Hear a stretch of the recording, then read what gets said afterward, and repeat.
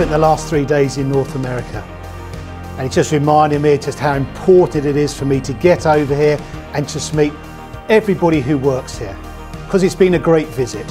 I've really enjoyed that interaction, understanding, well, it makes me appreciate just how, much we've missed from not being able to travel because of the COVID. So the good news is I sort of, I've learned a lot about what we have to do. We've got such opportunity here. A lot of the people working here I've met, you know, that, that real sense of optimism with clear plans of how we really drive this business forwards. So I'm really excited you know, to learn more about how we're going to implement these plans. How are we going to bring to, how are we going to communicate between ourselves, making sure we're all on the same path, doing the same things that help and support each other because we've got a really great business here.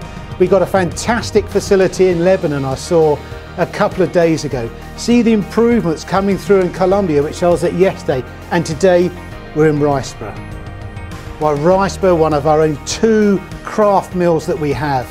It's so important to the group and seeing the progress that people are making here, but very importantly, those plans for the future, which we are backing. So great to be here. Thank you to everybody who's uh, spent the time to interact and talk with me. And I'm looking forward to coming back really in, in the near future again. Thank you again.